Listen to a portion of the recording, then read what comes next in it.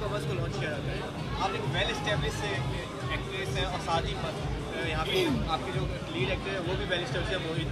कैसा लग रहा है? मतलब ये कुछ चेंजेस ला रहा है कि चलो जो पुराने एक्टर्स हैं, उन्हें वापस उनका वो जो मुकाम है, वो दिया जा रहा है?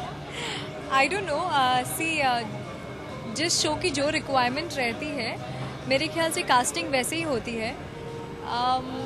यस फ्रेश फेसेस की बहुत डिमांड होती है, क्योंकि she has to be young she has to be bubbly she has to be raw but शायद इस शो की डिमांड कुछ और है। शायद इसमें वो ठहराव चाहिए वो गंभीरता चाहिए वो सोच चाहिए जो एक्सपीरियंस के साथ आता है। तो I think keeping that in mind मुझे नहीं लगता कोई मौका देने के लिए कोई कास्टिंग करता है। आई डोंट थिंक सो कि टेलीविज़न बदल रहा है या फिर uh, uh, पुराने एक्टर्स को फिर से चांस मिल रहा है।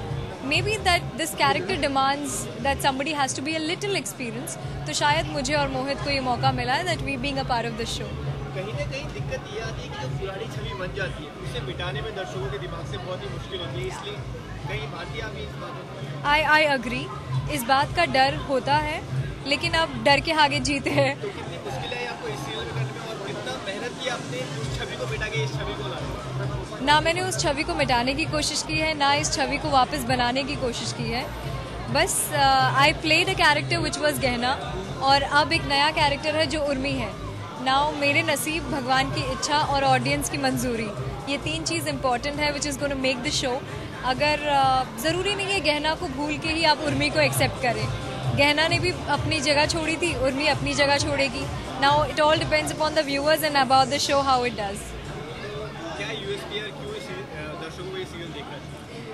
USP ये है? कि इसमें कोई यूएसपी नहीं है। The show is a normal show कोई